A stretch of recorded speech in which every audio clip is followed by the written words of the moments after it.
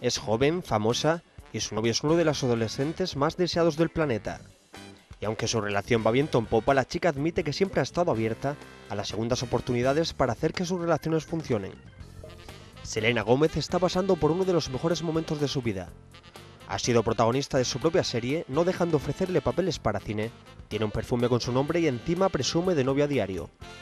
Sin embargo, la joven no se esconde al reconocer que siempre hace todo lo posible para que sus relaciones funcionen.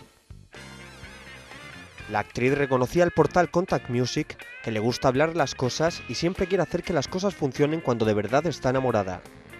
La chica Disney ha explicado que cuando sufrió su primera ruptura sentimental, pensó que era el fin del mundo, pero finalmente tuvo que continuar con su vida para llegar a cosas mejores.